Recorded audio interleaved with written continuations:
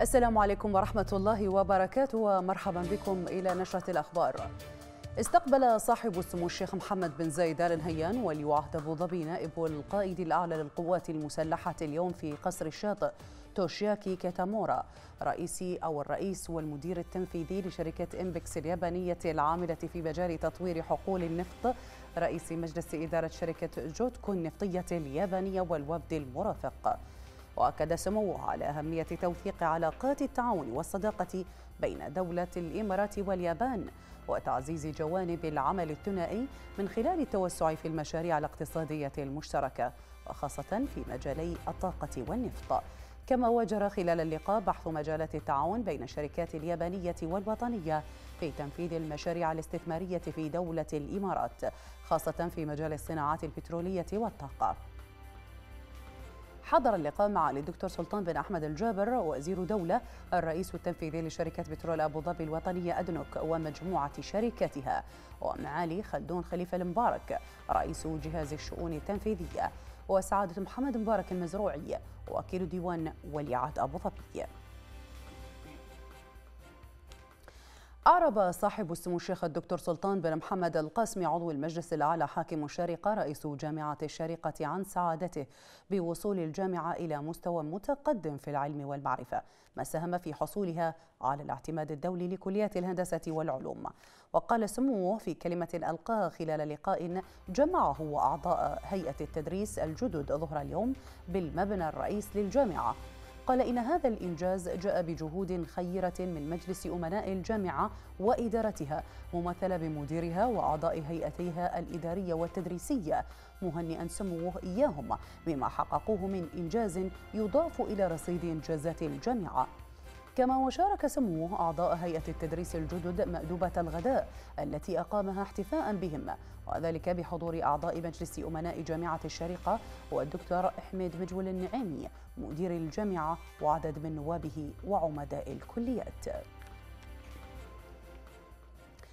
افتتح سمو الشيخ حمدان بن محمد بن راشد آل مكتوم ولي عهد دبي صباح اليوم معرض Cityscape Global الذي يستضيفه مركز دبي التجاري العالمي على مدى ثلاثة أيام. وقد تجول سموه في أرجاء قاعة المعرض في نسخته السادسة عشرة وتعرف سموه على أهم مشاريع التطوير العقاري والمشاريع السياحية والترفيهية التي تنفذها الشركات الوطنية وشركات عربية وأجنبية تشارك في هذا الحدث السنوي والتي يناهز عددها 300 شركة وجهة متخصصة في عالم التطوير العقاري داخل الدولة وخارجها. وقد أبدى سموه ارتياحه لما تقوم به الشركات الوطنية من جهد وعمل ومثابرة في مجال البناء والتطوير العقاري.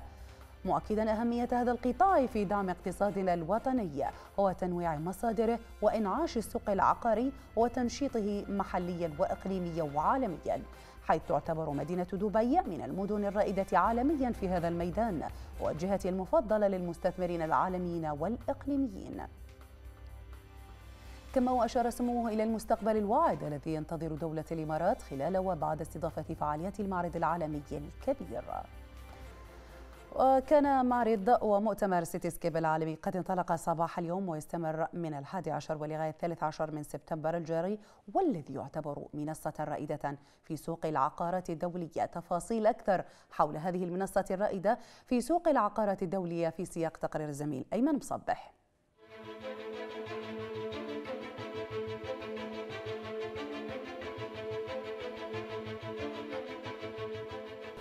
منذ ساعات الصباح الباكر جاءت الشركات والمؤسسات لتشارك في معرض ومؤتمر Cityscape 2017 بحلته الجديدة والذي زاد عن السنوات الماضية بعدد الشركات وكذلك بالمساحة. تعالوا لنتعرف على أروقة هذا المعرض.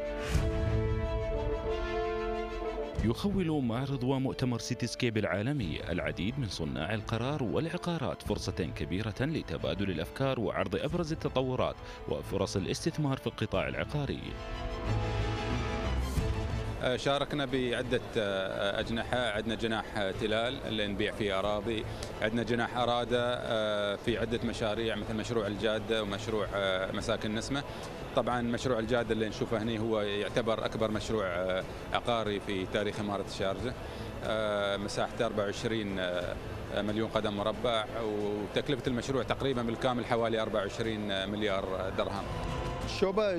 تعتبر شوبا العقارية إحدى أكثر الشركات العقارية عراقة في منطقة الخليج. بدأنا عملياتنا في سلطنة عمان في العام 1976 أي قبل ما يقارب الواحد وأربعين عاما. وتخصصت عملياتنا حينها بالديكور الداخلي للوحدات العقارية. ثم انتقلت بعدها إلى دبي تلبية لمتطلبات تعليم طفلتي.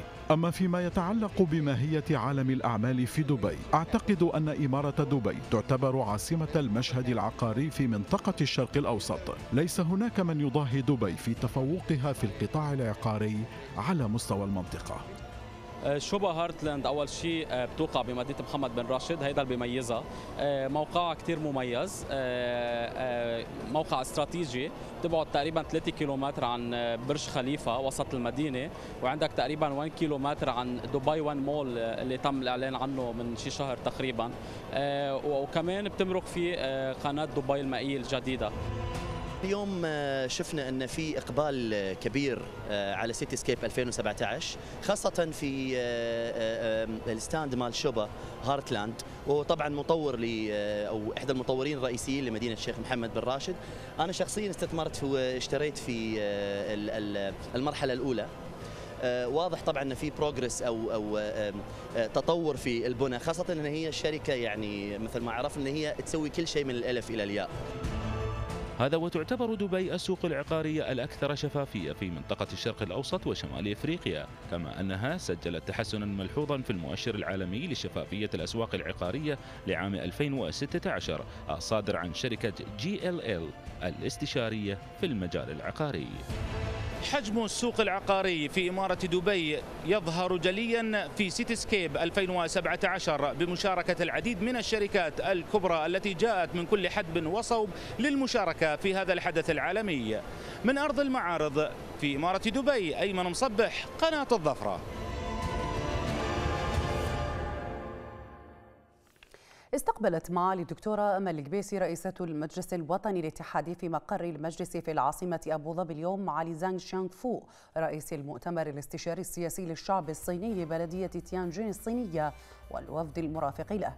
جرى خلال اللقاء استعراض علاقات التعاون القائمة بين دولة الإمارات العربية المتحدة وجمهورية مصر وجمهورية الصين الشعبية في جميع المجالات. وذلك في ظل حرص قيادتي البلدين على تعزيز وتطوير مجالات التعاون المشترك وبما يحقق تطلعات ومصالح البلدين والشعبين الصديقين. ثمنت معاليها العلاقات التجارية المتنامية بين البلدين بعدما تضاعف التبادل التجاري بين دولة الإمارات والصين 800 مرة في العقود الثلاثة الماضية. فيما أبدى المسؤول الصيني إعجابه بالمشهد الحضاري في دولة الإمارات الذي يعكس اهتمام وحرص قيادتها الرشيدة على تحقيق أعلى مستويات التقدم والرفاه المعيشي لشعبها. وأشاد بالتطور الذي أحرزته دولة الإمارات في زمن قياسي ودورها المؤثر على الصعيدين الدولي والإقليمي. حضر اللقاء سعادة كل من مطر الظاهري وسعيد رميثي وعز بن سليمان أعضاء المجلس الوطني الاتحادي وسعادة أحمد شبيب الظاهري أمين عام المجلس الوطني الاتحادي. استقبل سمو الشيخ طحنون بن محمد آل نهيان ممثل الحاكم في منطقة العين في قصر سموه في غريبة بمدينة العين عددا من المواطنين الذين توافدوا للسلام على سموه وتبادل سموه خلال لقائه بالمواطنين الأحاديث حول أحوالهم واحتياجاتهم. وأكد سموه أن صاحب السمو الشيخ خليفة بن زايد آل نهيان رئيس الدولة حفظه الله وصاحب السمو الشيخ محمد بن راشد آل مكتوم نائب رئيس الدولة رئيس مجلس الوزراء حاكم دبي رعاه الله وصاحب السمو الشيخ محمد بن زايد آل نهيان ولي عهد أبو ظبي نائب القائد الأعلى للقوات المسلحة يولون عناية خاصة بقضايا واحتياجات أبناء الوطن وتحسين مستوى معيشتهم. حضر الاستقبال عدد من الشيوخ. حضر معالي الشيخ السعيد بن طحنون آل نهيان حفل الاستقبال الذي أقامه أفاضل جعفر الجابري بمناسبة زفاف أخويه محمد إلى كريمة غالب عوض الجابري وبدر إلى كريمة صالح أحمد العمودي. كما حضر الحفل الذي أقيم بفندق العين روتانا وجهاء وأعيان قبيلة الجابري وعدد من ضباط القوات المسلحة والشرطة وجموع من أبناء القبائل. وقدم معالي الشيخ السعيد بن طحنون آل نهيان أصدق تهانيه للعريسين. داعين الله أن يرزقهما الذرية الصالحة كما وتضمن الحفل مشاركة فرقة الفنون الشعبية. أعلنت اللجنة المنظمة لجائزة الشيخ عيسى بن علي بن خليفة آل خليفة للعمل التطوعي في نسختها السابعة عن اختيار معالي نجلة بنت محمد العور وزيرة تنمية المجتمع و14 شخصية عربية كرواد للعمل التطوعي في 2017 وذلك تمهيدا لتكريمهم خلال الاحتفالية التي تحتضنها جامعة الدول العربية في الفترة من الثالث عشر حتى الخامس عشر سبتمبر الجاري. وذلك بالتزامن مع اليوم التطوع العربي للمرة الأولى في تاريخ الجائزة. في هذا الإطار قال حسن بوهزاع رئيس الاتحاد العربي للتطوع رئيس مجلس إدارة جمعية الكلمة الطيبة بمملكة البحرين الشقيقة قال إنه تم اختيار شخصيات العمل التطوعي العربي هذا العام بالتعاون مع إدارة منظمات المجتمع المدني في جامعة الدول العربية في خطوة نوعية نحو تعزيز مكانة الجائزة على المستوى الإقليمي. أعلنت القيادة العامة للقوات المسلحة استشهاد الملازم الثاني طيار سلطان محمد علي النقبي إثر سقوط طائرته نتيجة خلل فني أثناء أداء مهمته في عملية إعادة الأمل. وذلك ضمن عمليات قوات التحالف العربي الذي تقوده المملكة العربية السعودية للوقوف مع الشرعية في اليمن. وتقدمت القيادة العامة للقوات المسلحة بخالص تعازيها ومواساتها.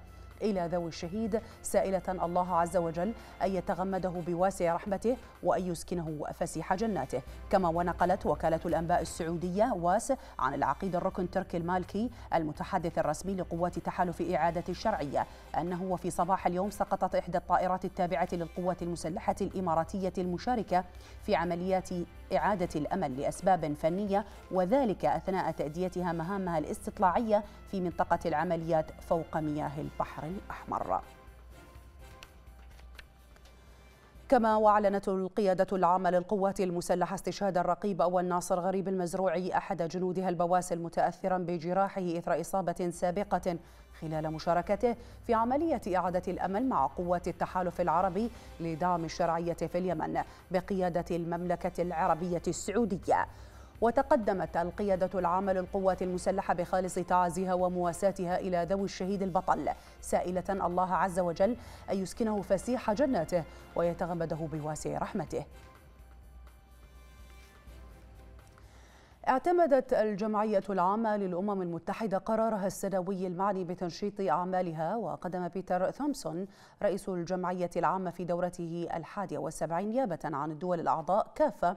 خالص الشكر والامتنان لكل من سعادة لانا زكنسيبا المندوبة الدائمة لدولة الإمارات لدى الأمم المتحدة وسعادة فلاديمير دورجبانك المندوب الدائم لكرواتيا لدى الأمم المتحدة. مثنيا على حسن قيادتهما لفريق العمل الذي أثمر أو أثمرت جهوده باعتماد القرار وتحقيق تقدم في عدة أوجه لأعمال الجمعية العامة. ومن جانبها رحبت سعادة السفيرة لانا نسيبة في تصريح لها بهذه المناسبة باعتماد القرار موجهة الشكر لجميع الدول التي شاركت والتزمت بهذه العملية.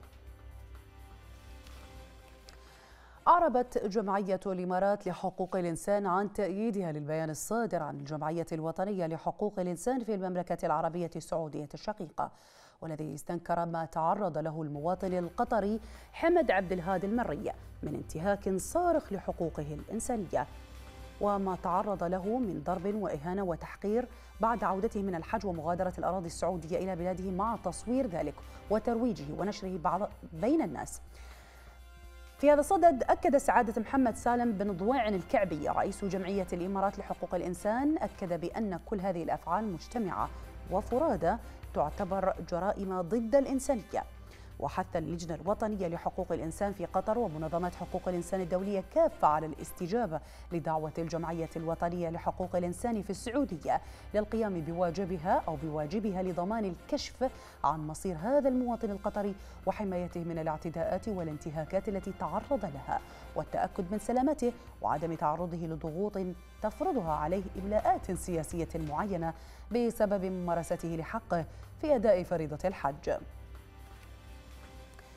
كما وأعرب مركز المنامة لحقوق الإنسان عن أسفه للاعتداء اللفظي والبدني الذي تعرض له المواطن القطري المري على خلفية قيامه بأداء فريضة الحج وزيارته للمملكة العربية السعودية في مخالفة صريحة من قبل السلطات في الدوحة للمواثيق والصكوك الحقوقية الدولية. فيما يتعلق بحرية الدين والمعتقد وجميع المبادئ الإنسانية والأعراف والأخلاق الإسلامية والعربية. وذكرت وكالة الأنباء البحرينية أن المركز استنكر هذا الاعتداء العلني على أحد الأفراد في ظل تهاون السلطات في الدوحة في توفير الأمن والأمان لمواطنيها ومخالفتها للالتزامات الواردة باتفاقية مناهضة.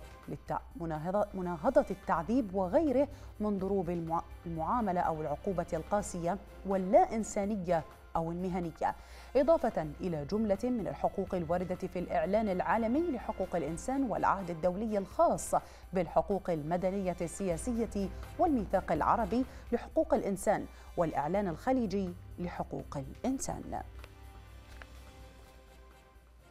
وصلت إلى ميناء عدن سفينة مساعدة إماراتية تحمل على متنها عشر حاويات من الأدوية الخاصة بمكافحة وباء الكوليرا في اليمن تم تسليمها لمنظمة الصحة العالمية.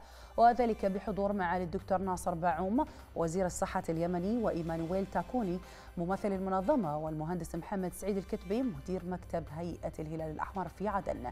في هذا الإطار قال الكتبي إن هذه الشحنة من الأدوية تمثل الدفعة الثالثة التي سيتم توزيعها على كل المحافظات اليمنية حسب الحاجة خاصة المحافظات التي ينتشر فيها وباء الكوليرا مشيرا إلى أن هذا الدعم يأتي استجابة لمناشدة وزارة الصحة اليمنية ومنظمة الصحة العالمية وحرصا من دولة الإمارات العربية المتحدة على تقديم المساعدة والعون للشعب اليمني الشقيق. من جانبه قال مدير مكتب هيئة الهلال الأحمر في عدن إن دولة الإمارات تبذل جهودا جبارة في سبيل القضاء وصد هذا الوباء عبر منظمة الصحة العالمية والجهات المسؤولة في اليمن. أغلق مؤشر سوق أبو ظبي للأوراق المالية تداولات جلسة اليوم على انخفاض لليوم الخامس على التوالي بضغط من هبوط القطاعات القيادية وانخفض المؤشر العام ب 0.16% بينما صعد سوق دبي المالي محققا أكبر مستوى له في خمسة أسابيع. بدعم رئيس من ارتفاع الأسهم القيادية مع افتتاح معرض Cityscape Global. وارتفع المؤشر العام ب 0.18% محققا أعلى مستوى منذ مطلع أغسطس الماضي.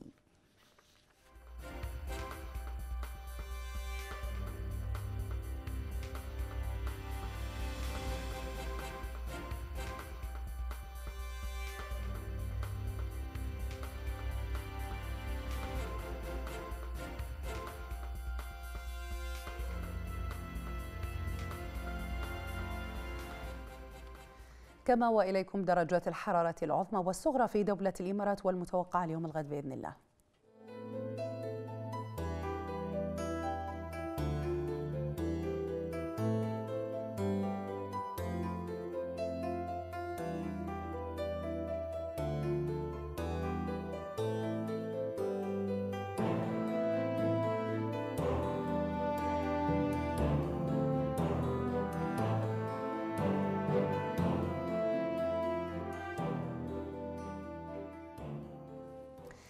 نهاية النشرة. أشكركم لحسن المتابعة بنلقاكم مع خير بإذن الله.